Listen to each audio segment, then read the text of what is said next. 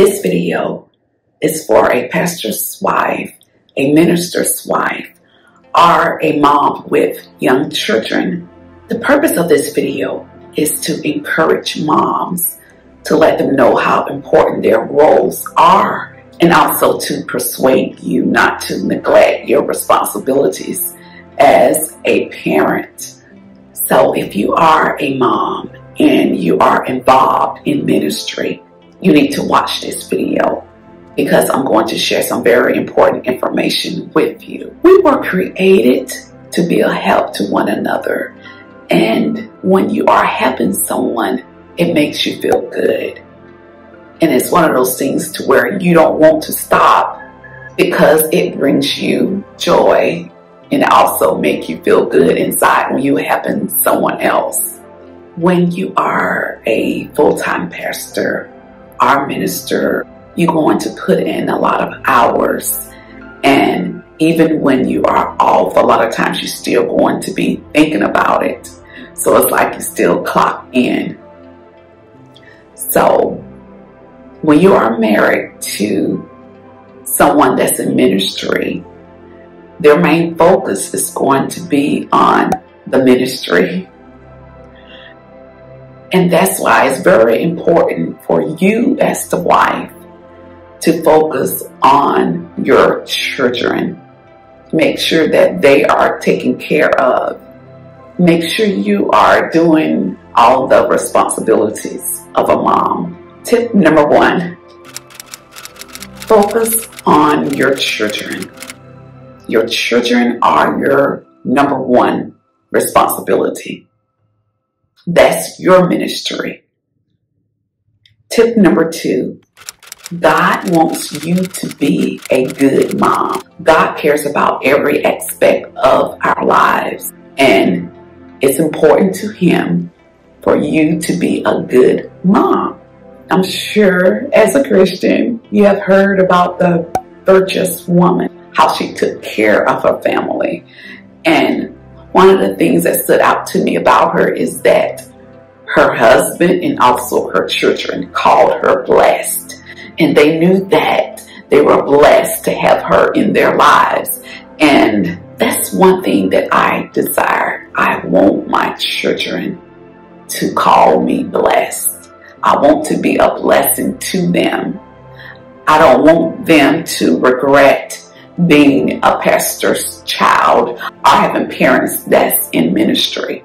Even though all of my kids are grown, I still make sure that I am available to talk to them when they need me. I want to be a part of their lives. And I want them to know that they are important to me. Tip number three, your children are your responsibility. I'm a pastor's child. My mom started pastoring when I was a baby. So church and ministry is the main thing that I know about in life. My mom was a full-time pastor and she also was a full-time evangelist. And so she traveled around the United States. So she was gone away from home a lot. And I can remember as a little girl crying a, lot. And the reason why is because I missed her. I just needed to be around her more. And we had different people watching us and they were nice to us, but it's just something about it to where God made us to where when you're really young, you need your mom and no one else can replace your mom. So my mom was sold out to God and her ministry came first. I knew that she loved me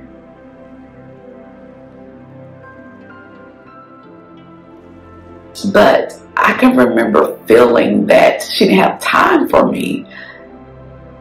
So I felt very lonely as a child. I was the youngest and my sisters and brothers, they all spoiled me. But even though they were there for me, it still was something missing. Nothing could replace what I needed from my mom.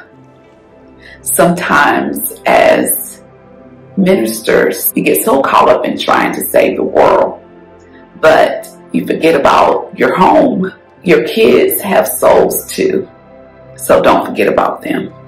If you are a pastor or if you are involved in ministry, every so often evaluate yourself.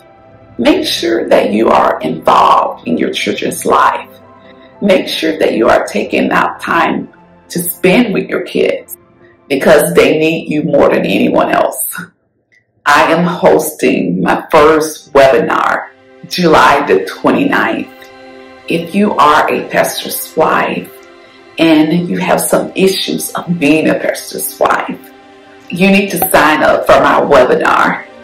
All the information is going to be below. If you like my message and you just want to support me, all you have to do is subscribe to my channel and click on the notification bell. That way, every time I upload a video, you will be notified.